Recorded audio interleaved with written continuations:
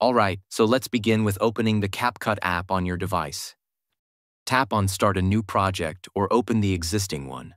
Import the video with text you want to clean up into your timeline. Here you're going to duplicate your video clip. Select it, and then look for the Duplicate option in the bottom menu bar. Tap that. Now you'll have two identical clips. Select that second duplicated clip and turn it into an overlay.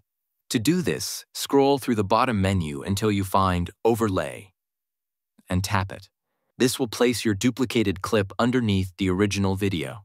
Now for the magic. You need to add a mask to that overlay clip. Scroll through the bottom menu again and find Mask. Tap it. Here, choose a mask shape that works for the text you want to remove. Usually, a rectangle or a circle will do. Adjust the mask size and position so that it covers the text you want to hide. Now, position it over the text area. Tap on the mask you just created and look for the feather option. Adjust the feather slider to blend the edges of the masked area with the rest of the video.